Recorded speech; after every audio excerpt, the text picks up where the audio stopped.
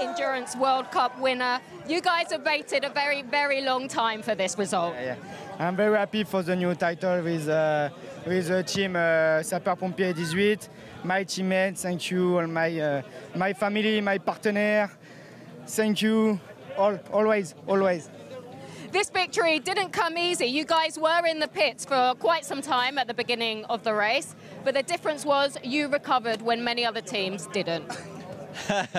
uh, sorry for my English. Uh, this race is very, very strong, very hard. Uh, the pace on the concurrent is uh, too too early, and uh, now I'm very happy. Uh, great battle. The teamwork is extra. It's incredible. Incredible. Um, thank you. An emotional roller coaster of the day and season, I'm guessing. What's your experience been of this year to get this victory?